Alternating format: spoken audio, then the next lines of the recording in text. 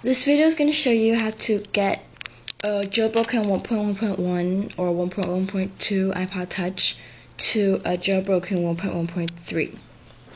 Okay, so what you're going to do is go to um, installer. Okay, after you go to installer, go to um, sources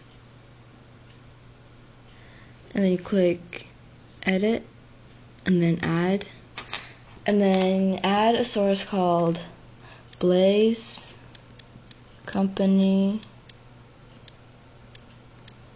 dot google pages dot com slash blaze dot xml okay um after you type that in, click OK. I already have the source, so I'm not going to do that. Okay, and then after that, you you want to refresh your sources, which might take a while since you're going to have lots of them.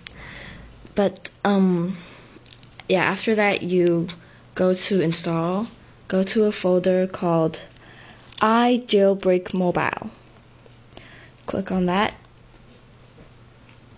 and there should be two files here that you want to use. One of them is called iJailbreak Mobile 1.1.1, which upgrades your 1.1.1 iPod Touch to a uh, jailbroken 1.0.3. And another one is iJailbreak Mobile 1.1.2 for if your iPod is 1.1.2 instead.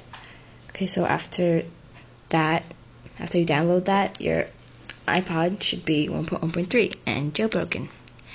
Thanks. Bye.